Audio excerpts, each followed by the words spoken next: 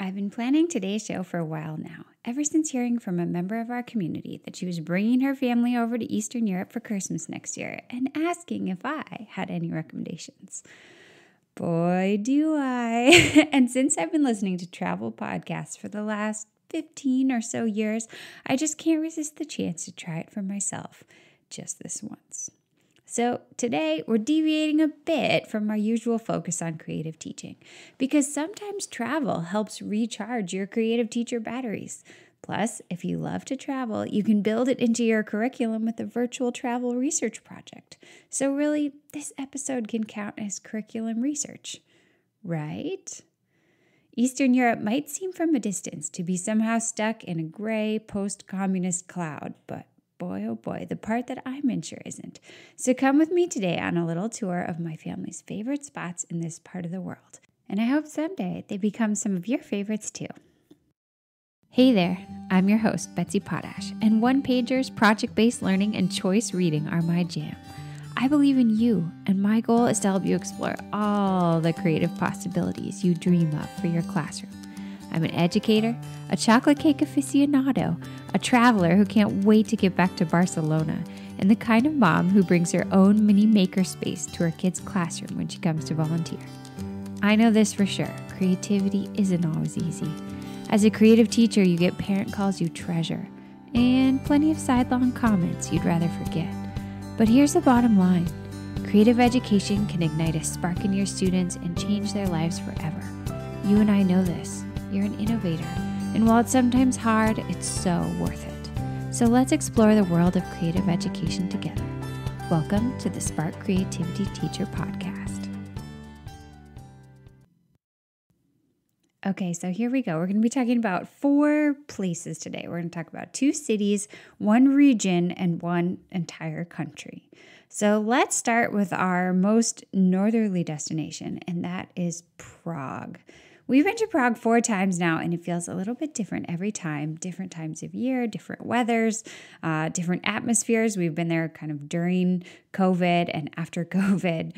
I've walked through a huge rally in support of Ukraine in Prague, where I was standing in the middle of thousands of people waving blue and yellow flags and listening to speeches in Czech. I've run over the Charles Bridge in the early morning mist and just happened upon a music video shoot, which was really crazy and cool.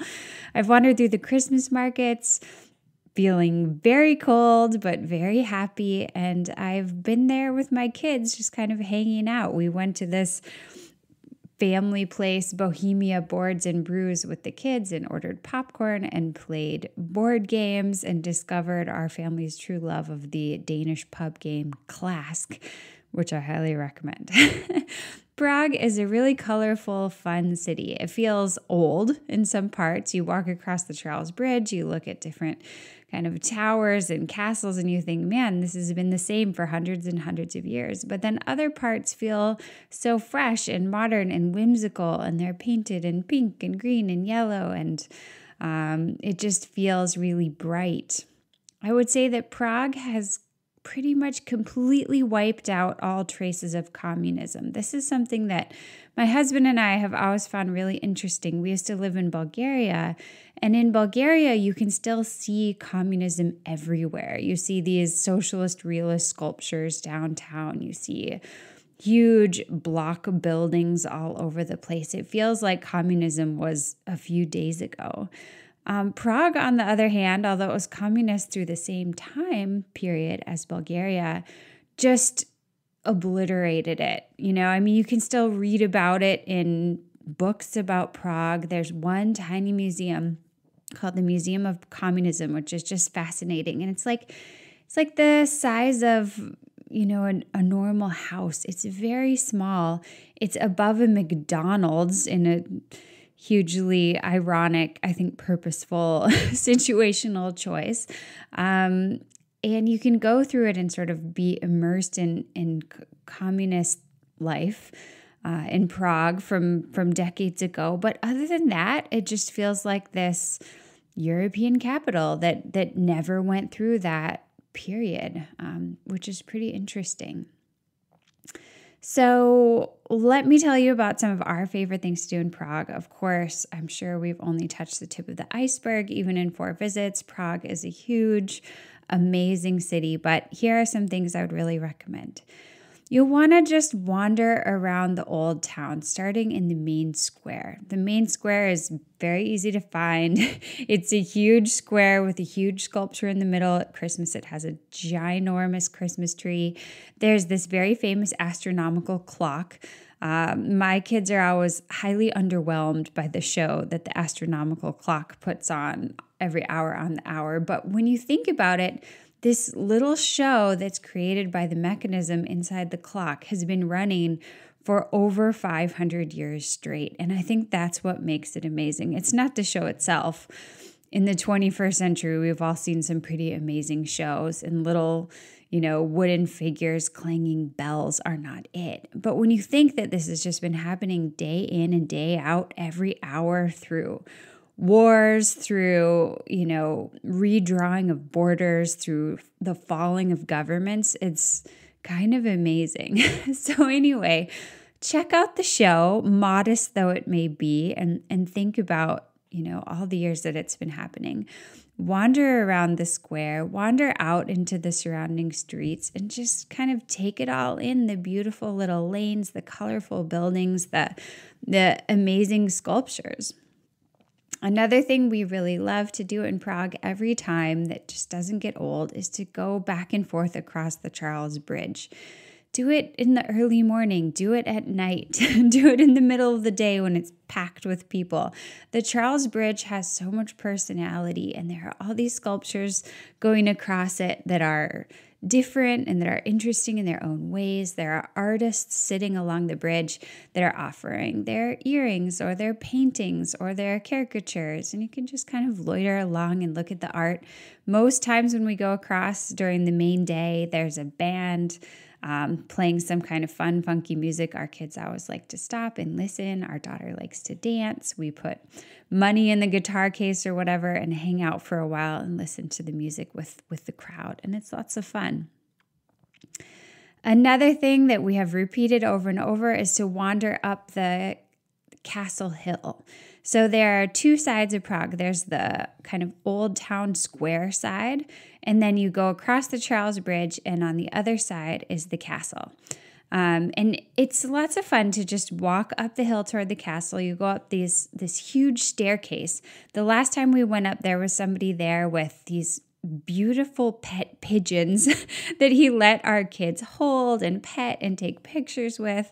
Um, anyway, you get up to the top and you can walk around up there for free through the through the castle area and kind of see the outside of the cathedral or you can pay and you can go into the the cathedral and sort of through more museum type areas and through this little street called the Golden Lane that is a very pretty old part of the castle district where um, various service providers used to live who who did things for the community in that area. But they're like these tiny little beautiful houses, and you can kind of look inside and see the history. Okay, this is where the dressmaker lived, or this is where the goldsmith lived. Um, but it is very crowded, so you might want to time that to to be at the very opening or the, you know, on a on a day that's not so popular. Also near the castle on the hill, you can go kind of across that side of Prague and up a little higher, and you get to this basically like a small Eiffel Tower, which is at the top of Prague. And you can climb up it. When we were there, the elevator was broken. So we climbed up all the stairs. I think usually you can take an elevator ride, get to the top, and look out over the whole city. I will tell you that if it's really windy, you can feel this mini Eiffel Tower moving, which was a bit um, disorienting for me, and my daughter did not care for it. So, if you don't like heights, maybe you don't want to climb the mini Eiffel Tower, but it is cool to look out and see all of Prague spread out below you. Okay, last but not least, a couple of food recommendations. We have repeatedly returned to the restaurant Laboratorio della Pizza. We love it. We love the bakery Artic Bakehouse. Artic, not like Arctic, Artic. Um, and I love the little bakery in the old town called the Bake Shop. There's a tiny, tiny outlet of it on the Castle Hill side. That one's not as good. It's it's fine, but it's tiny. The other one is huge with so many different pastries and cakes, and it's just fun to sit in the window and have something to eat. It's called the Bake Shop. The other thing you should look for when you're in Prague is called Trdelník, which basically means like a chimney cake. It's a donut type thing that's wrapped around a metal pole and then spun over coals or fire to roast it. And and it is so good. it's like it's like a roasted cinnamon sugar donut that you can fill with anything. You can fill it with ice cream or whipped cream or Nutella. You can put fruit on top. There's a stand selling one of these like every 3 blocks all over Prague. You're going to see it everywhere, so you should try it. Okay, so that's Prague, destination number 1. Destination number 2 is Budapest. Budapest has become our absolute favorite weekend with our family. And it's kind of ironic because when my husband and I lived in Bulgaria, before we had kids, we went to Budapest once for the weekend and we had the worst time. It was like our worst trip while we were living abroad. The heat in our apartment was broken. We went to the Museum of Communist Sculptures there, which is a really interesting museum across the city. But we went like in February and our bus dropped us off there and it didn't come back for us um, for four hours. Like, we didn't have a car, so we couldn't go to the museum without taking a specific museum bus, which we did. And for some reason, they make you stay for four hours and you can enjoy the museum in about a half an hour. So we were just sort of standing out there in this field of sculptures for four hours, absolutely freezing. So anyway, it wasn't the best, but we went back with our family and and we absolutely love it now and we just make sure not to get stuck in any frozen fields for 4 hours. So, one of the top things to do in Budapest, by all accounts, is to visit their baths. And I agree. they are so cool. We went to Széchenyi last year with with the kids.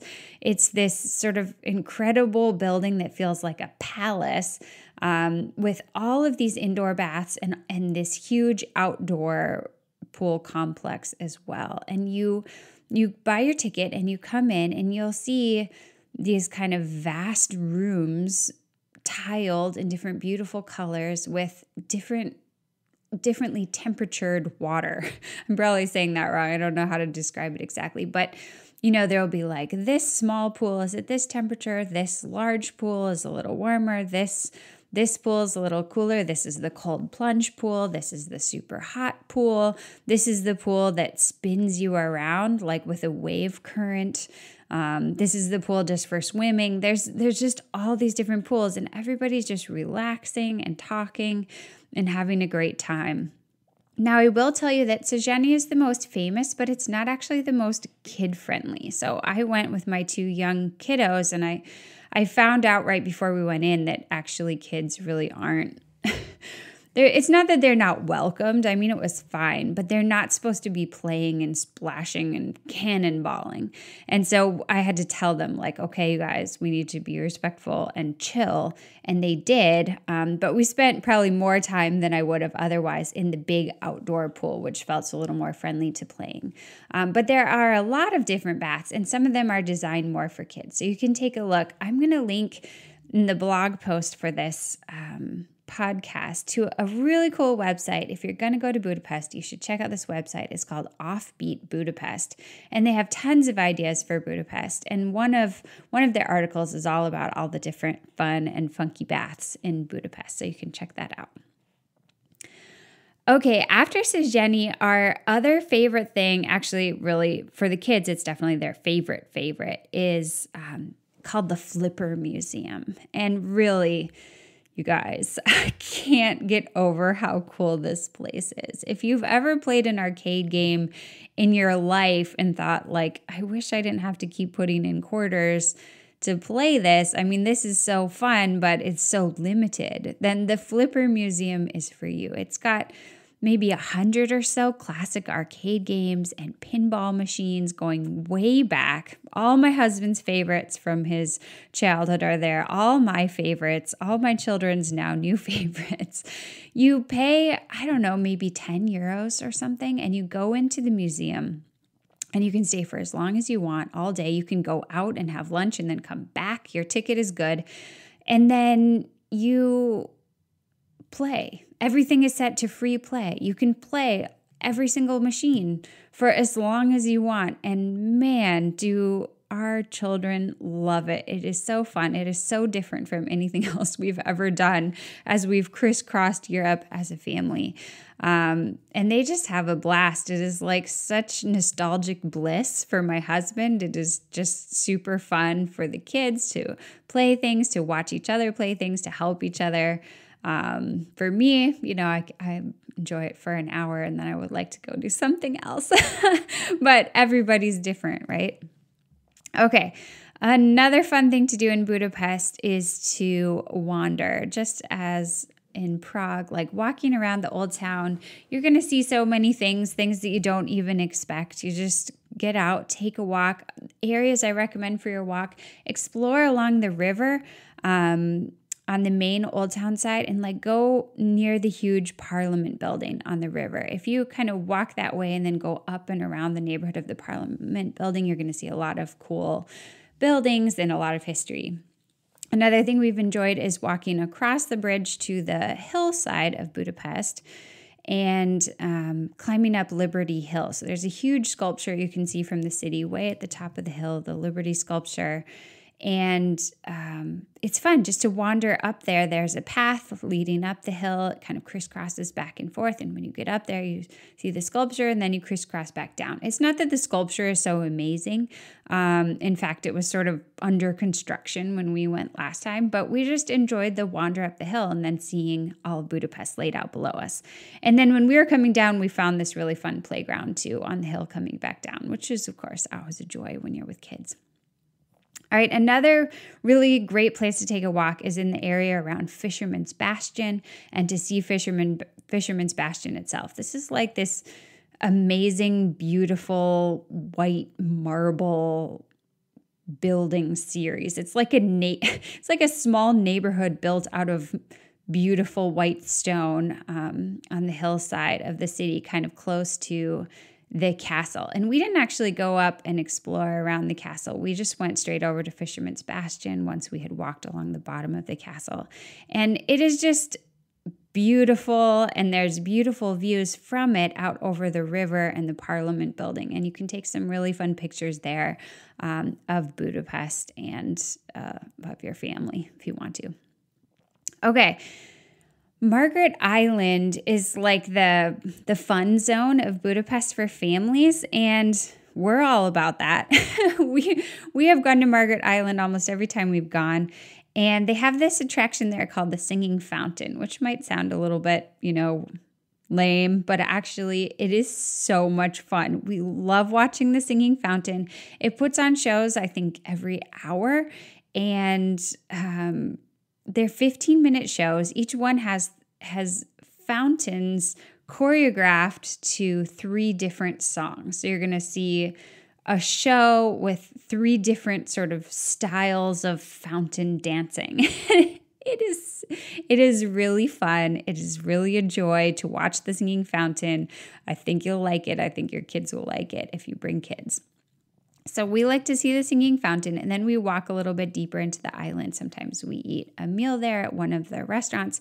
Sometimes we just go wander through all the gardens and the park. We have one specific tree we always go to that's an incredible climbing tree and we hang out there.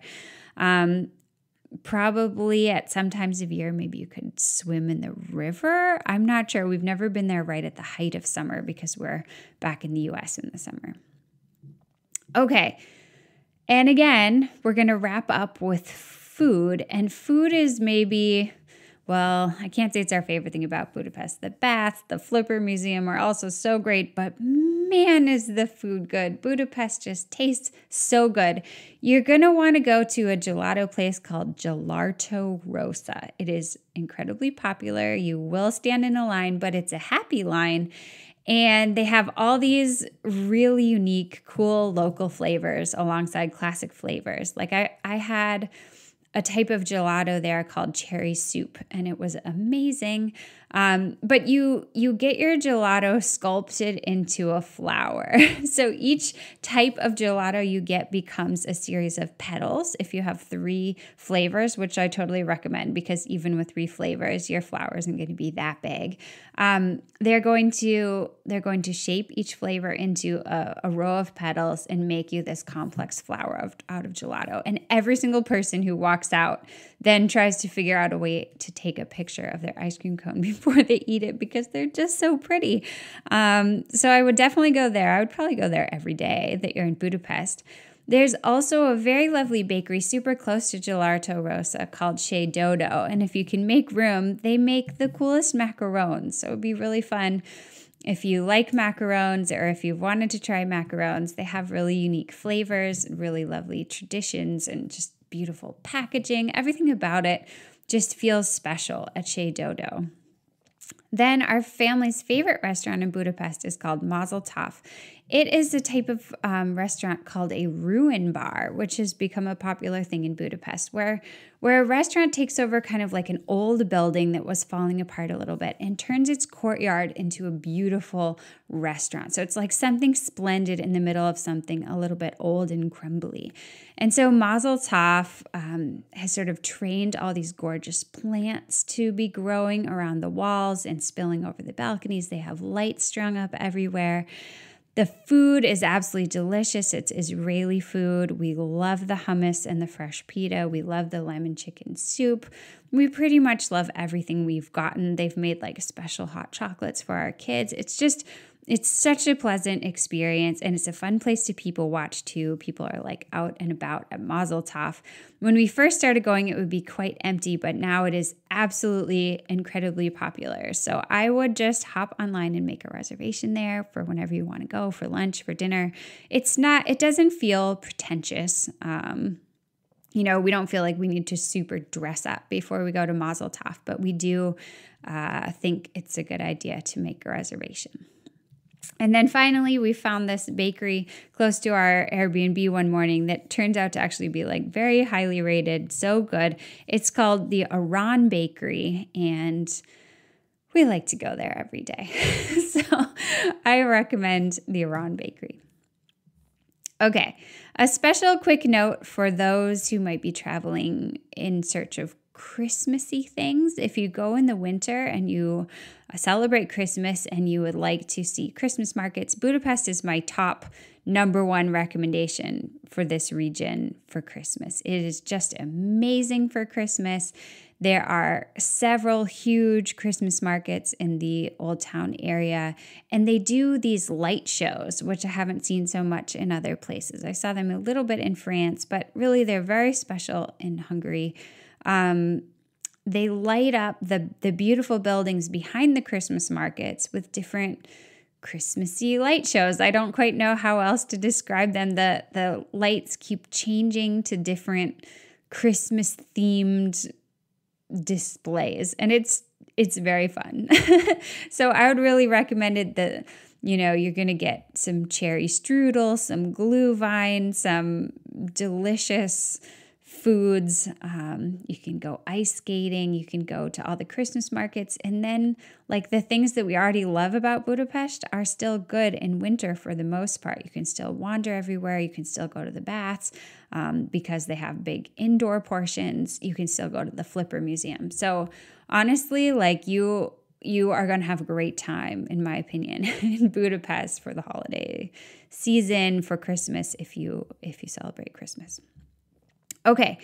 Uh, next up is the whole country. I couldn't limit myself to one city in this country. This is the place, probably more than any other in Europe, that I would really like to live next if I had my choice of, you know, perfect situation where there was like a great international school for my kids and a job for my husband. Croatia is amazing. and every time we go anywhere in Croatia, we immediately want to go back again.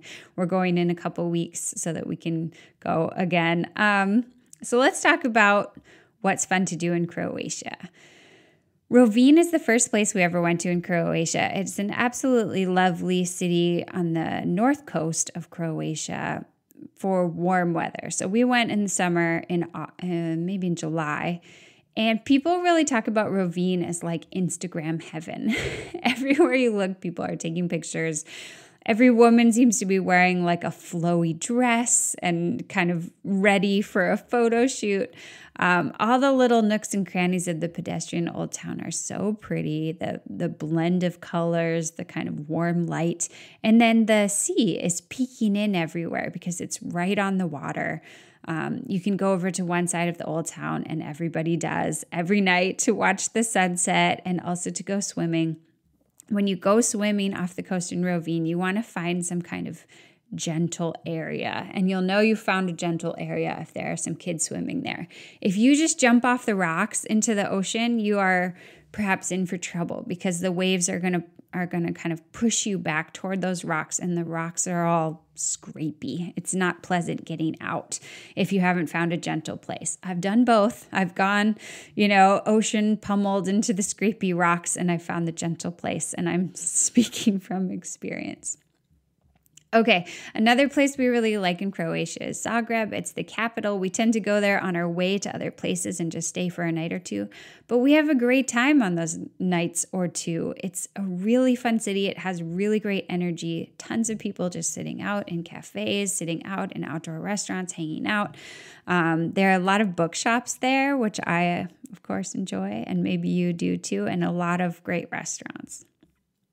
Zadar is a smaller town, I think, tourism wise in Croatia. Although we were there in the off season, maybe in July, there are like 80 million people there. I'm not sure, but um, but it's a really interesting place to stop by because it has these two um, beautiful, huge pieces of public art. One is called The Greeting to the Sun, and it's this very large blue glass. Um, flat sculpture uh, on the end of kind of the pier in the in, at the edge of the old town. And all day long it's soaking up sun rays so that at night it can use that solar energy to do like a dancing light show across the plane of its surface. And everybody just walks around on top of it on top of the light show. The kids are all playing they're dancing they're trying to like step on the lights everywhere. It is so cool. It's cool at dusk. You can start to see it as the sun sets. It's cool at night when it's really dark and you can see all the lights super well.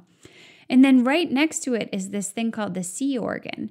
And right kind of on the pier there, on the walkway, there are all these pipes going into the water, and there are these benches sort of cut into the pier where you can sit.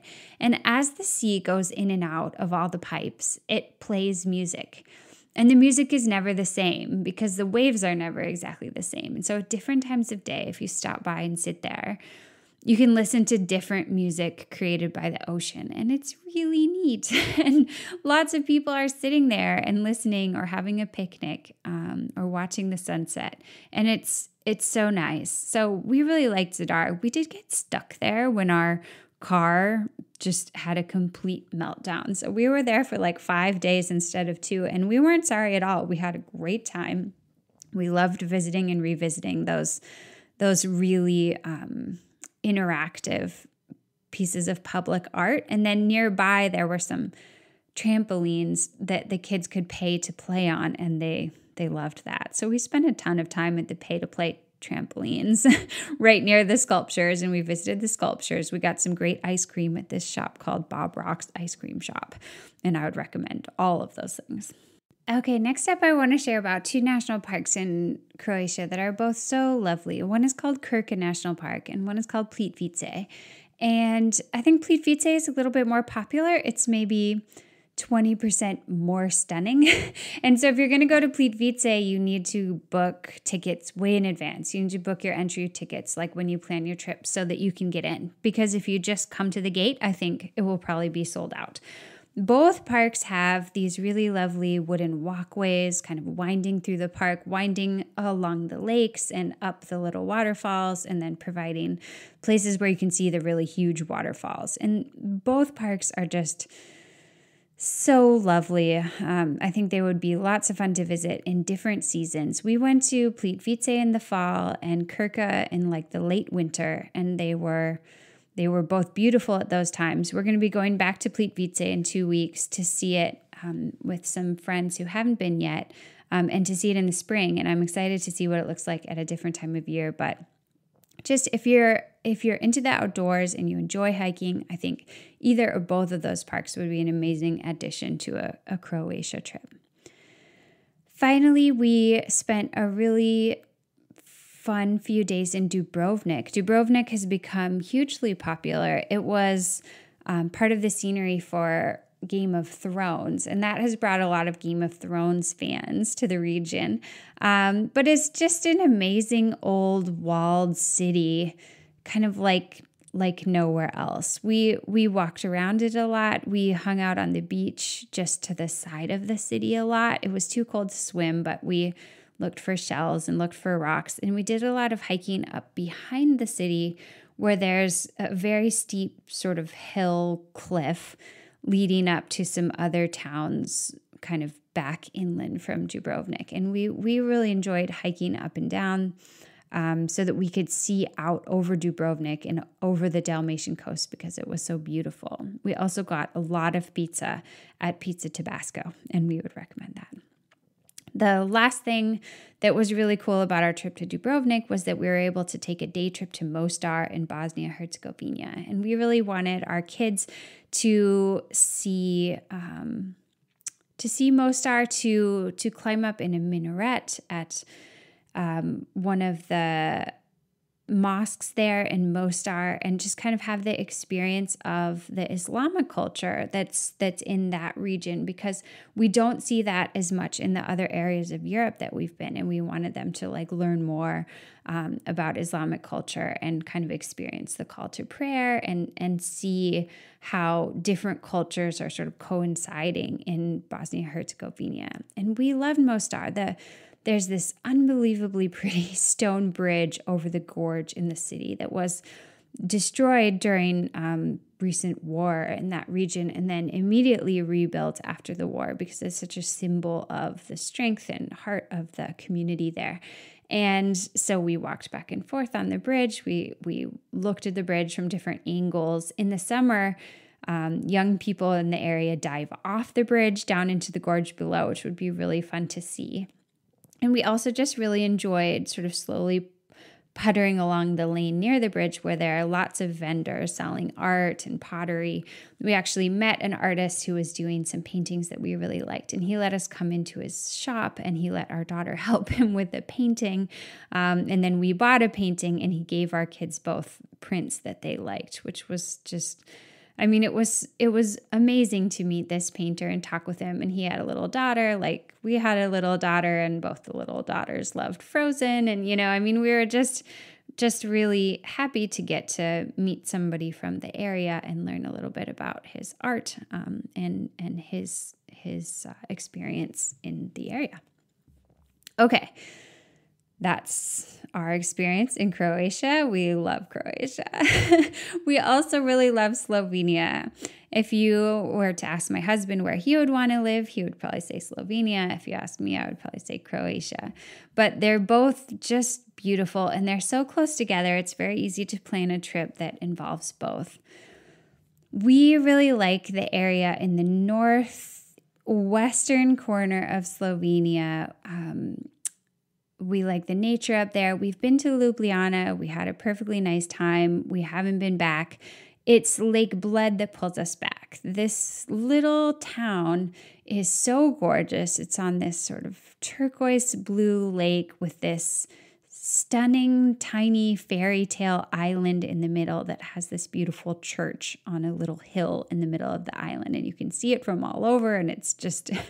it's so beautiful. And so we like to stay. We've stayed on a farm in the area, we've stayed at an Airbnb, and we just we do a lot of hiking. There's a really neat gorge called Vintgar Gorge that's very beautiful nearby that you can book tickets and walk through. A little ways away from there, there's Lake Bohinj, which is equally beautiful, perhaps, but without the little island in the middle. And we like to hike there up this area called Mostnica Gorge. Again, you you buy a ticket to kind of support the park maintenance in the area. And you can go a little ways along a beautiful river, or you can go really far and make an all day hike up to this waterfall up near one of the highest mountains in Slovenia, maybe the highest mountain in Slovenia. And you go through these like alpine meadows, you see horses, you see this beautiful green water. And there are two different huts on the way up where you can stop and have lunch. And really like lunch with a view. It is so beautiful and they have such good pie and it's just like, wow, is this is this real? Like how how can this incredibly beautiful place just be here in the middle of this mountain where I can eat pie? Um, Anyway, so we love doing outdoorsy things in this area. Our kids have done rock climbing here. We've done paddleboarding, swimming, hiking. Um, we're planning a trip for this summer. Our son really wants to go paragliding here. There's paragliding. Um, I think my son and husband are going to try to hike up that really high mountain, and my daughter wants to go horseback riding. So I'm probably going to be doing that, even though I'm kind of scared of horseback riding that's another story. so, anyway, um, the nice thing too is that because this area has become quite popular, I mean that's that's a mixed blessing, right? It's it will be crowded in summer, but because it's popular, there are also just a lot of fun little things that have sprung up for kids and so so much great food. Um, so our kids really enjoy being able to play on like a water obstacle course that's been built in on one side of Lake Bled, or this treetop obstacle course that's been built in on one side of Bohinj. Uh, there is an amazing pizza place here called Pizza Rustica that I would highly recommend. You can sit on the balcony and just overlook this kind of fairy tale alpine town near you um, and have a, an amazing pizza. And then a few blocks away, there's a pastry shop called Zima that has the most beautiful cakes. And we like to get the Lake Bled cream cake there, but there's also a lot of other things you can get. Okay. This is a long episode. I get really excited sharing these fun places in Eastern Europe. This this region has become very special to our family. We love it here. Um, we feel so blessed that we've gotten to live here these last few years, and it's fun to get to share it with you. Are there more places I wish I could talk about?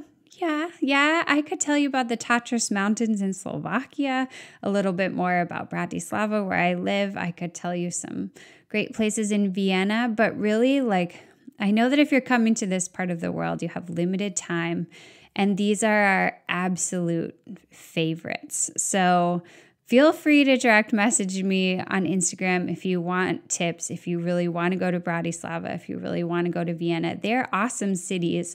But if you're trying to string together like a seven or 10 day itinerary, our favorites would be Prague, Budapest, this little region of Slovenia, and like all of Croatia. um, so that's that's our two cents. Okay, thanks so much for listening and for coming with me to Eastern Europe today, something a little bit different for us. Next week, we'll be back with regular teaching content. Until next time, take care of yourself and stay creative.